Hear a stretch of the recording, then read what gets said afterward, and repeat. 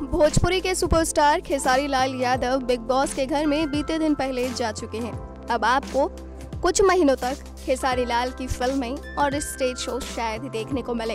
हालाँकि वो फ़िल्में और गाने आप लोगों को यूट्यूब या फिर सिनेमाघरों में देखने को ज़रूर मिल जाएँगे, जिनकी शूटिंग पहले ही खेसारी लाल कर चुके हैं या जो गाने खेसारी पहले ही रिकॉर्ड कर चुके हैं। लेकिन स्टेज शो में खेसारी नज़र नहीं आ पाएँगे।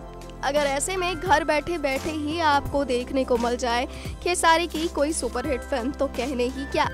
अब इंतज़ार खत्म हो चुका है।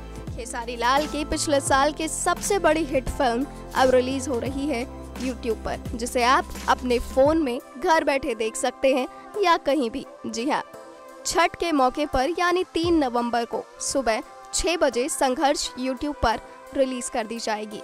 इस फ़िल्म के डायरेक्टर पराग पाटिल थे और फ़िल्म के प्रोड्यूसर थे रत्नाकर कुमार। इस फ़िल्म में खेसारी लाल के अलावा काजल राघवानी और रितु सिंह नज़र आई थी।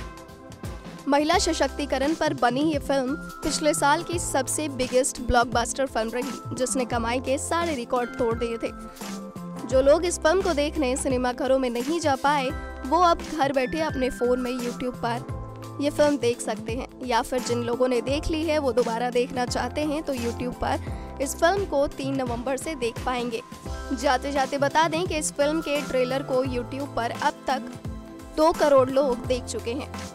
नेक्स्ट नाइन न्यूज़ भोजपुरिया की report next Nine News Bhojpuriya के सब्सक्राइब करी। और लेटेस्ट अपडेट खातिर बेल के आइकन वाला बटन दबाएँ।